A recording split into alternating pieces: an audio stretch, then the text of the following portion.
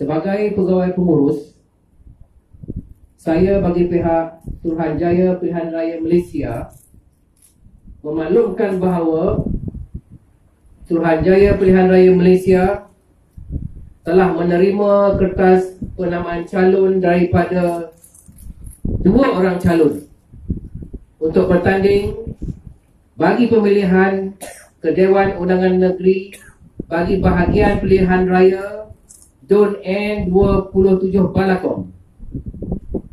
Mereka telah mengemukakan kertas-kertas penamaan mereka pada masa yang berikut. Yang pertama, Tan Chi Tiong.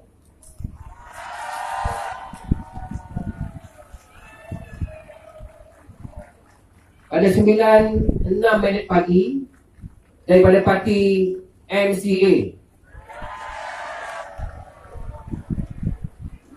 Yang kedua Wong Siu Ki pada 9.13 minit pagi daripada Parti Pakatan Harapan.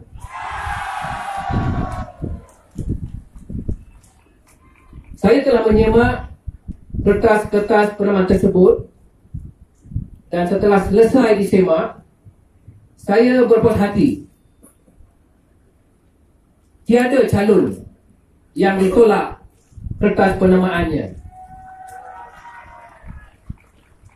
Dengan ini, saya mengumumkan bahawa calon-calon yang disahkan akan bertanding dalam bahagian pilihan raya N27 Balakong adalah seperti yang berikut.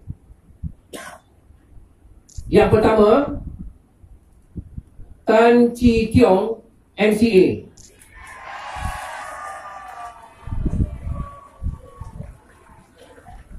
Yang kedua Wong Sioki Pakatan Harapan